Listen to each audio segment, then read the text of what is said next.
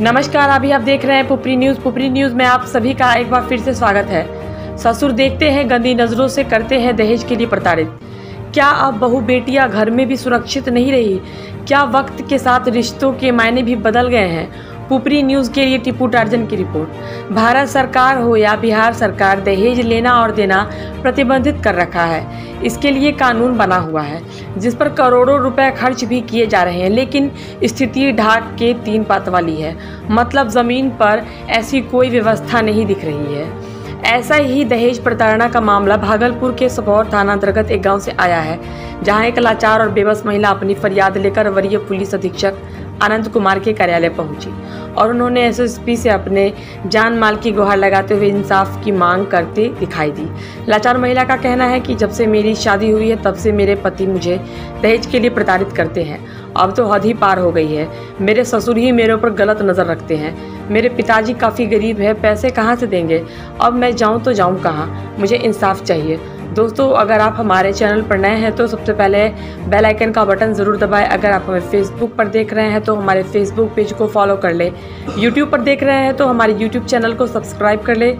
Video पसंद आए तो शेयर ज़रूर कर दें। ऊपरी न्यूज़ आपकी आवाज़ हर पल आपके साथ।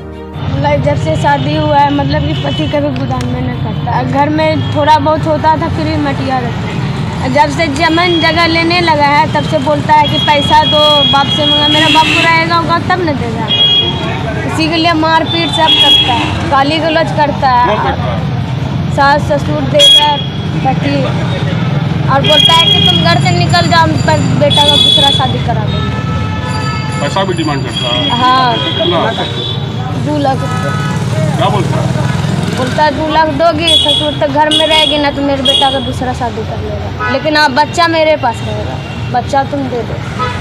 कब हुआ था शादी? शादी दो हज़ार इक्कीस में कब से टॉर्चर कर रहा है?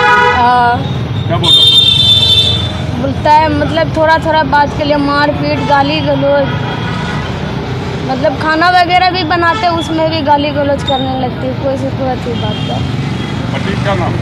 राहुल। क्या करता है? फैक्ट्री में काम करते कहाँ का मामला है?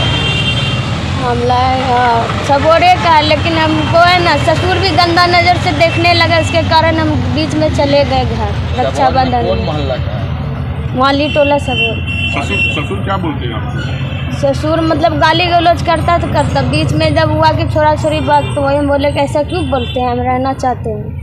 उसके बाद बोला ना बेटा दूसरा। उसके बाद बोलती है ठीक है हम अपना बेटा दूसरा शादी कर देंगे लेकिन हाँ हम रखेंगे तुमको। उसके बाद इतना गंदा गंदा गाली देता है चार गो बेटा है ना तीन गो से शादी करा देंगे ये करा देंगे ऐसे बोलते क्या बोलता है? हैं। ससुर बोलते हैं। क्या नाम है उसका? राकेश साहब मामला को लेकर थाना गई थी थी? सबूत थाना?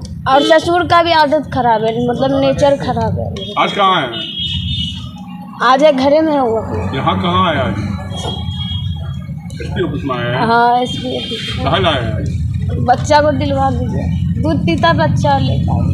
छीन लिया बच्चे हाँ। सबूत थाना गई थी? गए पर कोई सुनवाई नहीं लिया। क्या बोलता है? डायरेक्ट भगा दिया बगल। हाँ। बोला मुंगेरे में होगा तुम्हारा काम यहाँ नहीं होगा। क्या नाम हुआ? काजल कुमारी। पिता का नाम? कब से चल रहा है सर मतलब होने से पहले मतलब थोड़ा बहुत होता अरे दो हज़ार इक्कीस में शादी किए तब से यहाँ इस खबर के प्रायोजक हैं एसके इंटरप्राइजेज अब घर बनाना हुआ और भी आसान। एक ही छत के नीचे मिल रहा है सारा सामान। Sanitary ware tiles marble paint plumbing एवं हार्डवेयर संबंधित सारा सामान उचित मूल्य पे प्राप्त करें। नागेश्वर स्थान रोड कुकली बाज़ार। प्रोपराइटर शौकत खान सिराज खान एक बार अवश्य पधारें।